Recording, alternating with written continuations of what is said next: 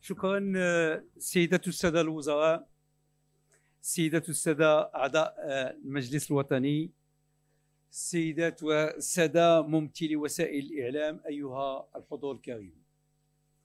في البداية أرحب بجميع الحاضرين لأشغال هذا المجلس الوطني الثالث بعد انعقاد المؤتمر الوطني السابع يوم 4 مارس 2022 أتمنى نجاح أعمال هذه الدورة باعتبار باعتبارها مناسبة تنظيمية سنوية منصوص عليها في أنظمتنا الأساسية والداخلية.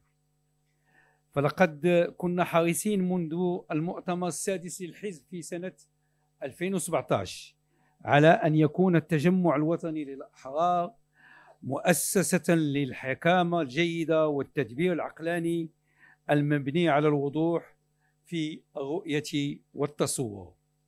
وإننا وإنني لست بحاجة للتذكير بأن حزبنا واظب على انعقاد لقاءاته التنظيمية وحرص على انتداب مواعيدها. كما أنني لست بحاجة للتذكير بحرصنا الشديد على احترام الديمقراطية الداخلية وتكريس منظومة القيم التي تجمعنا في هذه المؤسسة الحزبية على مر التاريخ والتجارب السياسية. بالفعل إن التجمع الوطني للأحرار أضحى اليوم مرجعا في التدبير السياسي للمؤسسة الحزبية ومشاركة الجميع في القرار الحزبي. وبنفس الجدية يعد التجمع الوطني الأحرار اليوم نموذجا رائدا في إرساء قواعد التدبير الإداري والمالي الشفاف وهو ما تظهره التقارير من خلال التدقيق في حسابات الأحزاب السياسية ونفقات الدعم العمومي السنوي المقدم من طرف الدولة.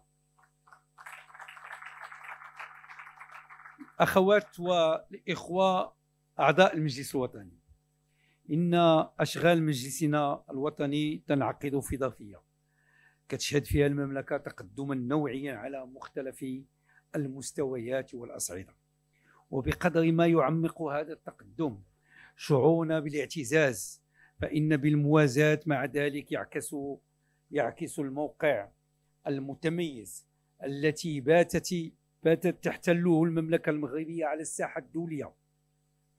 وذلك بفضل الرؤية الحكيمة التي ينير بها جلالته الملك محمد السادس حفظه الله كل مسارات تطور وازدهار البلاد على كل الأصعدة.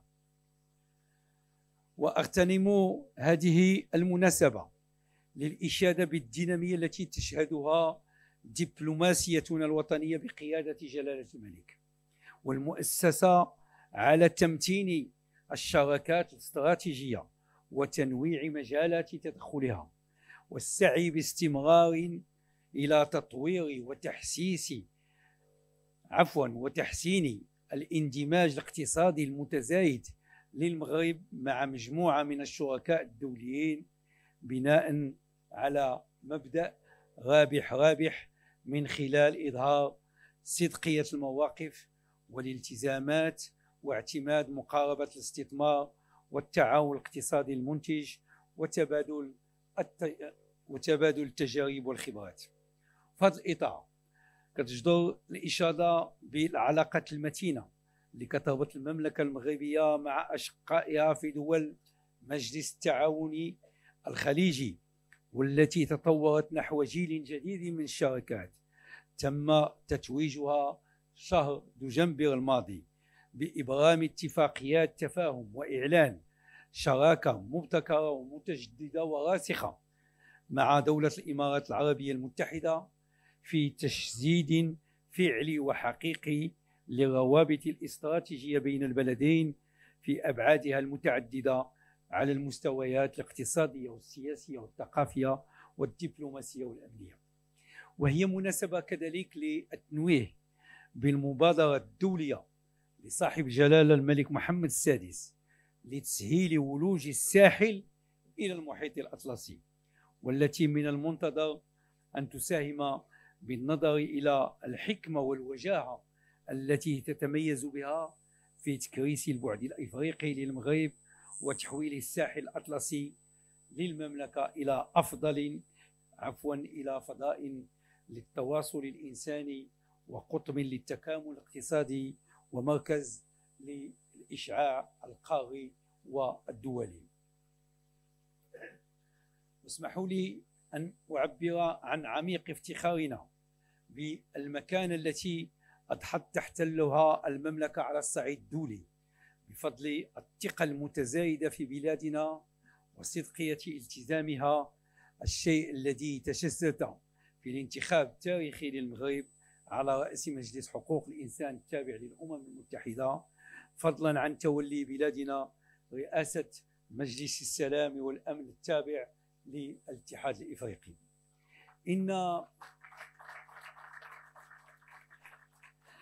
إن هذه المكتسبات كتشكل تتويج واعتراف حقيقي واضح وصريح من المنتظم الدولي بالجهود اللي كتبذلها المملكة المغربية تحت قيادة جلالة الملك في سبيل مواصلة مسار تعزيز الممارسة الحقوقية والديمقراطية وتعزيز السلم والأمن الدولي.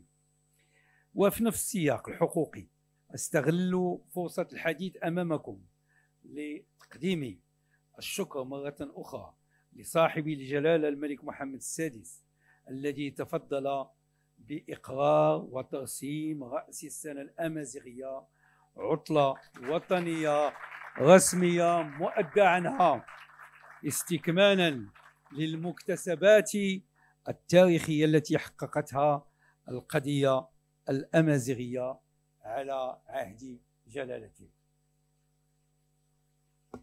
ولا يفوتني هنا التنويه بالمكاسب التي حققنا حققتها الدبلوماسية المغربية تحت القيادة الرشيدة لجلالة الملك فيما يتعلق بقضية الصحراء المغربية وهو ما يعكس توالي الاعترافات بمغربية الصحراء كتتويج لوجاهة المقاربة الملكية في تدبير هذا الملف اللي كترتكز على مقترح الحكم الذاتي كقاعدة وحيدة ذات مصداقية لوضع حد لهذا النزاع المفتعل.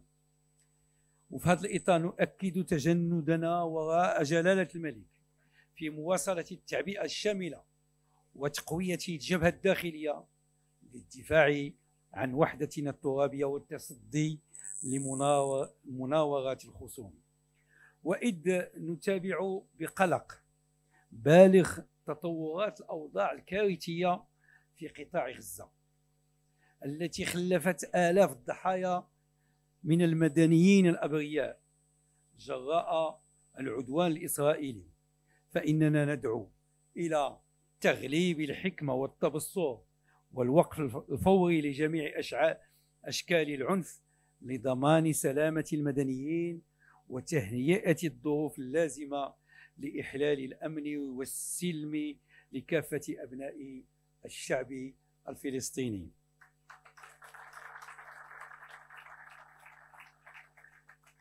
وفي هذا الإطار نحيي جهود صاحب جلالة الملك محمد السادس نصره الله بصفته رئيسا للجنة القدس لإيجاد حل عادل وشامل ودائم للقضية الفلسطينية على أساس قرارات الشرعية الدولية ومبدأ حل الدولتين المتوافق عليه دوليا مناضلات المناضلين ديال الأحرار حضرت سيدة السادة انعقاد ديال المجلس الوطني هذه السنة كيتزامن مع اقتراب استكمال نصف الولاية الحكومية الحالية في ظرفية وطنية تتميز بالمنحى الإيجابي الذي يعرفه آه، المسار التنموي لبلادنا.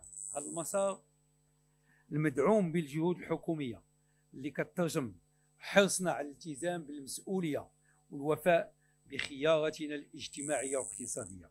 بالفعل لقد عشنا مرحلة أولى من التجربة الحكومة الحكومية الحالية. تميزت بتماسك أغلبيتها وأظهرت نضجا كبيرا سمته تغليب المصلحة الوطنية العليا.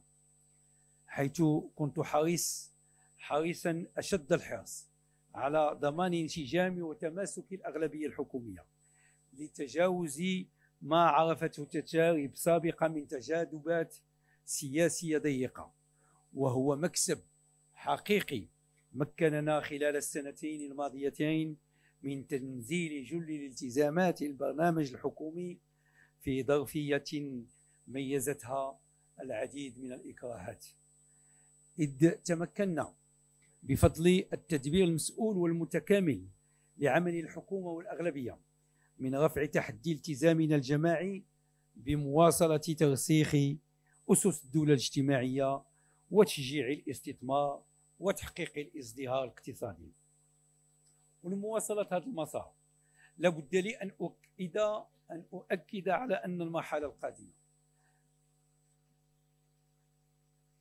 لابد لي أن أؤكد أن المرحلة القادمة تستدعي منا إظهار نفس الروح الإيجابية وضخ نفس جديد يظهر نضجا أكبر واستحضارا أكثر لتحديات الظرفية باعتبار أن هذه التحديات كتقتضي منا تجاوزات كل الأجندات السياسية لأننا مقبلون على سياق وطني ودولي كتحكم تغييرات عميقة وإكراهات اللي هي متجددة.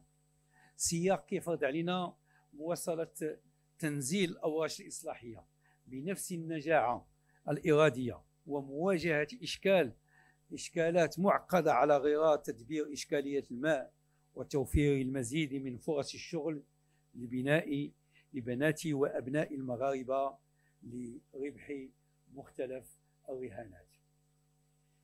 سيدة السادة أعضاء المجلس الوطني إننا ماضون بكل مسؤولية وعزم في استكمال مسيرة النماء والتقدم بقيادة جلالة الملك محمد السادس نصره الله. ذلك أننا ولله الحمد خلال السنتين الماضيتين بفضل التوجيهات الملكية السامية وعلى الرغم من كل الصعوبات والإكراهات من تحقيق تحولات نوعية في مختلف المجالات الاجتماعية والاقتصادية بفضل التنزيل الحكيم والمحكم للإصلاحات الهيكلية التي جرى إطلاقها في إطار ورش الدولة الاجتماعية التي يعتبر جلالة الملك مهندسها الأول. وفي هذا السياق شكل إطلاق الحكومة للبرنامج الملكي المتعلق بالدعم الاجتماعي المباشر لحظة تاريخية في مسار بناء الدولة المغربية الحديثة. إنه إنجاز توغي تسعى من خلاله المملكة إلى تحقيق الكرامة العدالة الاجتماعية لكل المغاربة وحماية الأسرة المغربية من تقلبات الحياة. واليوم مع البداية ديال الشهر أول مرة في تاريخ بلادنا من بعد الظرفية ديال كوفيد. جوج المليون و ألف ديال الأسرات توصلت بين 500 درهم و 1200 درهم. وأنتم في الأقاليم. في الأقاليم ديالكم لا لا شك أنكم لمستوا هذا الشيء. والمواطنين بالفعل لمسوا أن هذه الحكومة فكرت فيهم وفكرت وليداتهم. وديك الأسر اللي محتاجة حست أن الدولة كذلك كاينة وواقفة معهم. وباللي هذه الحكومة عندي الكلمة ديالها وأنا شخصيا حرصت باش يكون السجل الاجتماعي وقانون والتطبيق ديال القانون ديالو هو الآلية الوحيدة لضمان الاستفادة من كل البرامج الاجتماعية. حضرات سيدة السادة لقد كان هاجس هذه الحكومة منذ تنصيبها إرساء نموذج للدولة الاجتماعية في شموليتها باعتبارها خيارا استراتيجيا يشمل كل فئات الفئات والأسر المغربية. على غرار التقدم الحاصل في تنزيل برنامج الدعم الاجتماعي المباشر كنا مع مطلع هذه السنة على موعد تاريخي للشروع في برنامج دعم السكن. هو برنامج مؤطر بالتو... مؤطر بالتوجيهات الملكية السامية الهادفة إلى تحسين ظروف عيش المواطنين من خلال تمكينهم من سكن يليق بكرامة المغاربة. وكتجدر الإشارة أنه أكثر من 48 ألف مواطنة ومواطنين تقدموا بطلبات للتسجيل في المنصة ديال دعم السكن للحصول على هذا الدعم اللي مقدم من عند الدولة. وبنفس الإرادة والعزيمة واصلنا قيادة المجهود الجماعي مع مختلف الفاعلين لتحسين الولوج العادل والمنصف للخدمات الصحية الوطنية واستدراك التأخر الهيكلي المسجل في هذا الميزان المجال. وفي هذا الإطار تمكنت الحكومة من استكمال المساطر التشريعية والتنظيمية المرتبطة بإصلاح المنظومة الصحية ومواصلة تأهيل المؤسسات الاستشفائية والمراكز الصحية للقرب والعمل على تطوير منظومة التكوين والتأثير لفائدة الأطر الطبية ومهنيي الصحة. كل هذه الجهود قد تساهم بلا شك في تسهيل وسلاسة مسارات العلاج وتجاوز كل المعيقات اللي كان كيعيشها المواطنون من أجل خدمة صحية كتحفظ الكرامة ديالهم. واستكمالا للمجهودات الكبيرة المبذولة لتأهيل قطاع الصحة العمومية وضمان جودة العرض الصحي. كانت الحكومة على موعد مع التاريخ بتنزيل ورش التغطية الصحية والتسريع من وتيرته على أرض الواقع. حيث حيث تمكنا مع ما تم سنة 2022 في احترام للأجندة الملكية من فتح باب الانخراط في خدمات التأمين الإجباري الإجباري عن المرض لعموم المغاربة. وضمان استفادة أزيد من 11 مليون مواطن في برنامج أيمو التضامن. وتتحمل الدولة اشتراكاته الشهرية بقيمة 9.5 مليار ديال الدرهم سنويا. مناضلي ومناضلات الأحرار. لن أبالغ إن قلت لكم أن الحكومة التي أتشرف بقيادتها جعلت من سنة 2023 محطة مفصلية في تاريخ إصلاح المنظومة التربوية ببلادنا وحدثا ثوريا ستتذكره الأجيال المقبلة بكثير من الإشادة والتنويه. ذلك أن إصلاح التعليم ليس بالأمر السهل كما يعتقد البعض كما أن تجاوز تركته الثقيلة استدعى منا التحلي بإرادة وشجاعة سياسية للتعاطي مع مختلف الإشكالات والجوانب. سينصف التاريخ هذه الحكومة التي عبأت كل مواردها وطاقتها للمضي قدما نحو إصلاح عميق وشامل لا رجعة فيه للمدرسة المغربية وكذلك الجامعة الوطنية. فعلى الرغم من كل الصعوبات اللي رافقت انطلاق الموسم الدراسي لهذه السنة. تمكنا ولله الحمد مع ما تم الدورة التشريعية الخريفية وخلال الأسبوعين الماضيين من تنزيل كل الإطارات التنظيمية للمضي قدما في تكريس الإصلاح. واختيارنا في الحكومة كان بالنظر للخصوصية الاجتماعية والاقتصادية لقطاع التعليم. أن يكون الإصلاح في إطار ديمقراطي تشاركي مؤسساتي كتضمن آليات الحوار الاجتماعي التي أردنا من خلالها التي أردنا من خلالها إعادة الثقة للمؤسسات وتغليب المصلحة العليا لأبناء وبنات المغاربة ومستقبل الأسرة المغربية عموما. وهي مناسبة لأحيي مختلف المركزيات النقابية المسؤولة على حسها الوطني وتغليبها للمصلحة العليا للوطن خلال مختلف مراحل وجولات الحوار الاجتماعي الذي الحمد لله نجحنا في إعادة إحيائه ومأسسته. مناضلي ومناضلات الاحرار إن الحكومة اللي كنتشرف بالرئاسة ديالها حققت مكتسبات تاريخية لصالح الأسرة المغربية.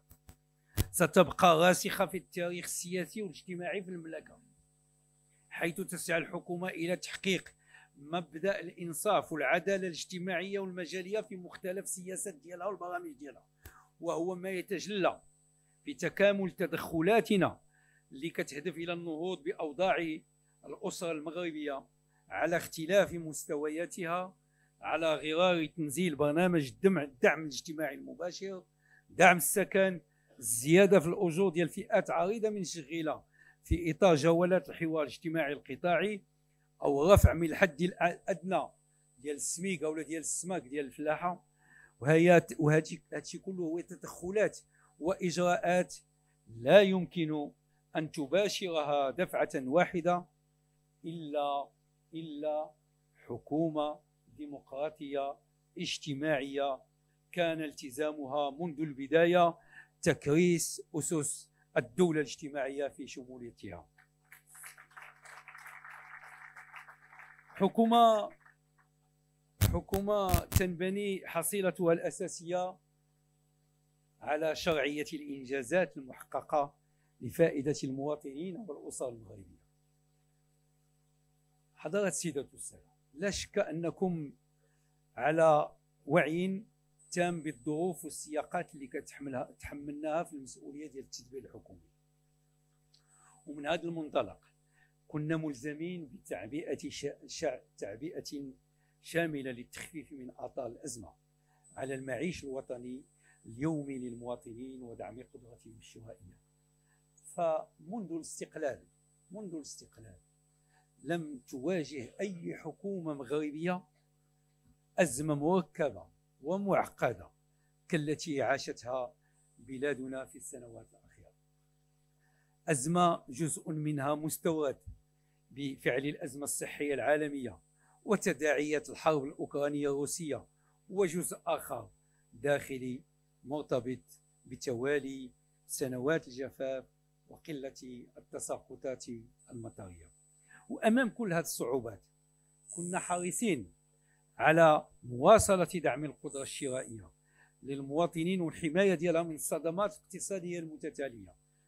كما عبأت الحكومة تنفيذا للتعليمات الملكية السامية حوالي 10 مليار ديال الدرهم في إطار برنامج استعجالي لمواجهة آثار الجفاف. وقد مكنت مختلف الإجراءات الحكومية الموجهة اللي اتخذناها لمواجهة الإكراهات الظرفيه من تراجع من تراجع معدلات التضخم بشكل ملموس حيث من المتوقع أن ننهي هذه السنة بمعدل لا يتعدى 2.5% إن شاء الله. ارتباطا بإشكالية المال. فقد صارعت الحكومة لتدارك التأخر.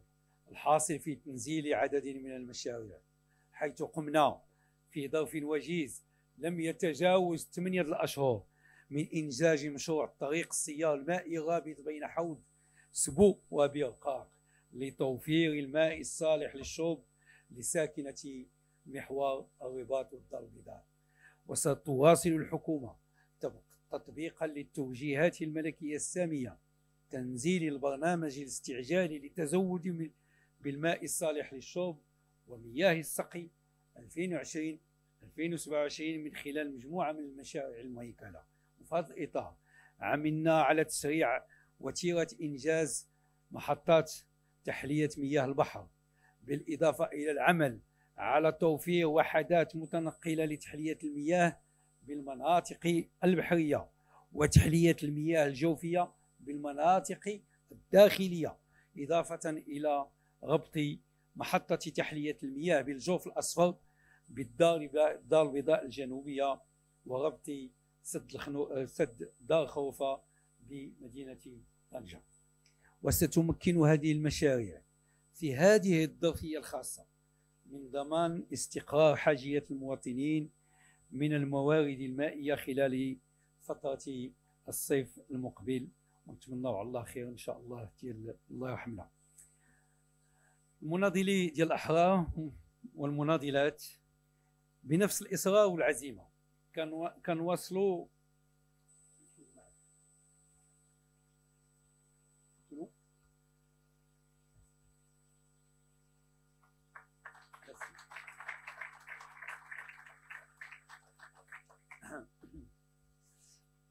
بنفس الإصرار والعزيمة. كنواصلوا مسار تشجيع الاستثمار العام والخاص.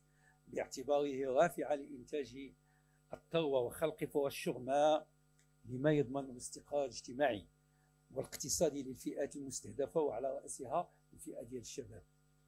ذلك أننا واعون تمام الوعي أن مختلف البرامج الاقتصادية والاجتماعية اللي كتقوم به الحكومة بالتنزيل ديالها كتطلب واحد المجهود مالي استثنائي. فملي تحملنا المسؤولية كنا حريصين على ضمان التوازنات المالية للدولة وسلام وضعيتها الماكرو اقتصادية. وفضل المجهودات المبذولة على مستوى تحصيل المداخيل حققت مداخيل الدولة ارتفاعا ب 6% مقارنة مع 2022 مع تسجيل تقريبا 103% من هذاك الشيء اللي اللي كان prévu في la loi finances وال budget كما نواصل بثبات مجهود تقليص عجز الميزانية إن شاء الله كنطمحوا باش يوصل في 2026 في آخر المسار ديال هذه الحكومة الحالية.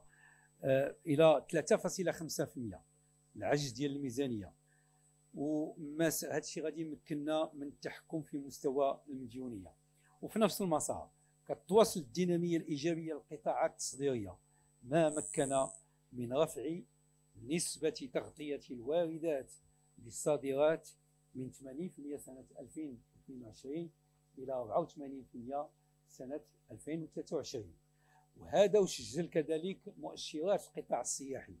أرقاما تجاوزت بكثير ما حققته السياحة ما قبل يعني أزمة الكوفيد حيث تمكنت الحمد لله بلادنا العام الماضي من استقبال 14.5 14 مليون و500 ألف مليون سائح كرقم قياسي جديد خاصة بفضل تدابير الدعم الإرادي التي تم اتخاذها لإنعاش هذا القطاع.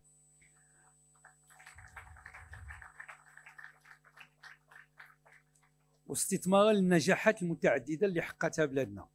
غيكون المغرب في السنوات المقبلة على موعد مع تظاهرات هامة وهو تأكيد واضح على أن المملكة المغربية تحت القيادة الرشيدة لصاحب الجلالة أصبحت شريكا موثوقا في تنظيم وتأمين وإنجاح الملتقيات القارية والعالمية. مناضلات ومناضلي الأحرار أيتما ديستما. لقد كنت حريصا منذ تنصيب الحكومة وبرغم من دقة المرحلة وخصوصية الملفات اللي التي نستمد منها شرعية الإنجازات أن نمارس أدوارنا التنظيمية بكل أمانة ومسؤولية ومواصلة الدينامية الوطنية التي خلقها الحزب في الحقل السياسي الوطني والذي يشهد بها الجميع منذ سنة 2016 إن تصدرنا للمشهد السياسي.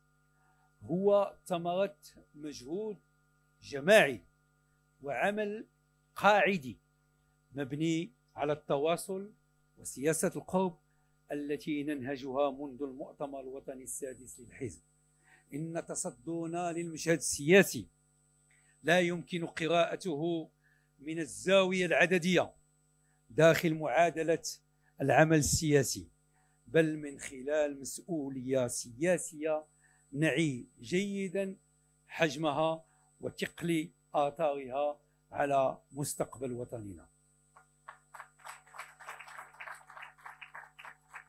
إن تصدر تصدونا للمشهد السياسي هو تأسيس هو تأسيس لمرحلة جديدة تستجيب لمبادئ القوم وتخليق الحياة الحزبية الوطنية.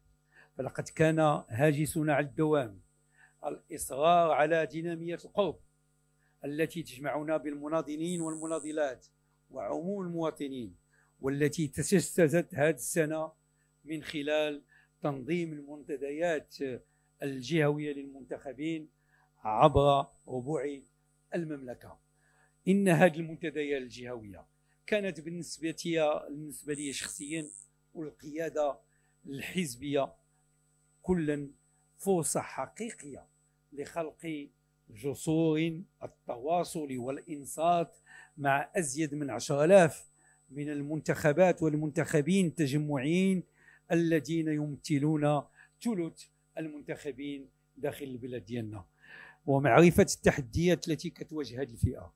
في بلوغ جماعات ترابية تستجيب لتطلعات المواطنين وتساهم في المسار التنموي التي تعيشه المملكة وإن مخرجات هذه الجولات سيتضمنها عرض سياسي جديد. نتمنى أن تشكل نقلة نوعية في مجال التدبير الترابي والرفع من قدرات كل المنتخبين على اختلاف انتماءاتهم السياسية أغلبية أو معارضة. شباب نساء ومناضلي الأحرار إن لقاءنا اليوم هو فرصة لأعبر لكم عن اعتزازنا بالأضواء الدستورية والسياسية التي يقوم بها الفريقين البرلمانيين لحزبنا تماشيا مع متطلبات المرحلة وانتصارا للقيم التي تجعلنا أكثر قرب من المواطنين والمواطنات. ولقد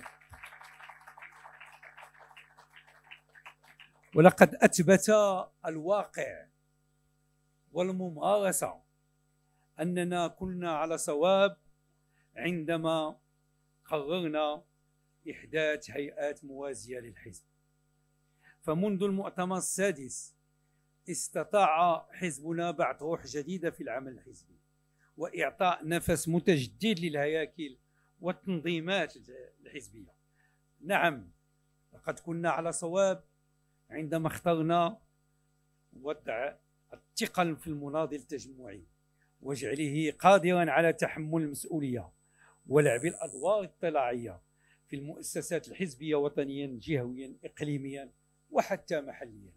لقد أثبتنا بالملموس أن مبدأ تجديد النخب وتخليق الحياة العامة منهاج ورؤية تجمعية مترسخة واصلنا عبرها تأكيد مكانة التجمع الوطني للأحرار الذي شكل على الدوام رقما صعبا في المعادلة السياسية الوطنية. نعم نعم إن تصدرنا للمشهد الحزبي ما جاش من فراغ بل نتيجة منطقية لرؤية واضحة كان شعارها الأساسي خلق جد جيل جديد من النخب الحزبية وهي القوة كذلك المستقبل ديال الحزب إن شاء الله. أزيد من عشر آلاف شابة وشاب في مختلف الجهات والأقاليم. 19 19 المنظمة موازية للحزب كتهتم بمختلف المجالات. ما يفوق من 62% من البرلمانيين الأحرار يلجون أول مرة قبة البرلمان. أكثر أكثر من 3400 من المنتخبين الجماعيين الأحرار يمارسون لأول مرة العمل الترابي. هذا جديد. هذا عمل كبير. هذا هو العمل اللي جبنا يعني في 2021 بالإضافة إلى أن ستة من النواب البرلمانيين الشباب كينتميوا لفيدرالية الشبيبة التجمعية. فلا حرج لنا في القول وبدون أي مركب نقص. أن التجمع الوطني الأحرار بات يشكل مثالا يحتذى به ومدرسة حقيقية لإنتاج نخب المستقبل القادرة على تحمل مسؤولية ديال التدبير ديال الشأن العام. وهو ما يجعلنا المعني الأول. هذا كيعطينا مسؤولية. نحن المعني الأول بحماية وتحصين المكتسبات الديمقراطية اللي راكمتها البلاد ديالنا. لكن حنا اليوم مطالبين حنا مطالبين بالمزيد من العمل. اليوم حنا مطالبين باش نزيدوا نشتغلوا في البرلمان في الجماعات في المنظمات في الهيئات الموازية. خاصنا نجدوا الدينامية الكبيرة ديالنا أكثر من قبل. والهيئات الموازية العديد منها دارت المؤتمرات ديالها واللي باقي ما داروش خصو يديروا والعمل ديال التأطير والتواصل مع المواطن هو أول مهمة ديالكم اللي خصكم ديروها. هادشي ما يديش يديروا شي حد آخر خصكم ديروه نتوما. وأنا كما عرفتوا ديما تلقاوني معكم ومرافقكم في هذا في هذا المجال هذا. وخرجوا وخرجوا تكلموا مع الناس.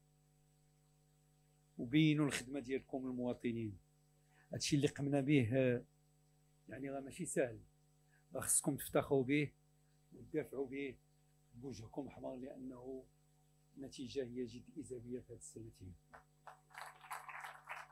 سيدات والساده أعضاء المجلس الوطني إحنا اليوم كحزب وحكومة واعون بحجم الانتظارات والتحديات اللي كتواجهنا. مستحضرين في ذلك. ثقة الأمانة التي قلدنا إياها. صاحب جلالة نصره الله. وحجم الثقة اللي وضعوا فينا المغاربة. وهو ما يفرض علينا المضي بالسرعة القصوى في تنفيذ مختلف التزاماتنا السياسية. وتحويلها إلى واقع ملموس يصل صداه إلى قلب كل أسرة مغربية. دون دون بيع الوهم للمواطنين أو ما نبيعوش الوهم للمواطنين ولا نخاطبوهم بالعواطف والأمنيات بل بشرعية الإنجازات. ونحن اليوم ونحن اليوم بكل ثقة ومسؤولية مستعدون لاستكمال هذا المسار التنموي للمملكة. تحت القيادة الرشيدة لصاحب الجلالة الملك محمد السادس نصره الله وأيداه السلام عليكم ورحمة الله تعالى قبل ما تخرجوا ما تنسوش تابوناو في العشان يوتيوب وبارطاجيو الفيديو وديروا جيم. وتابعوا الدار على مواقع التواصل الاجتماعي.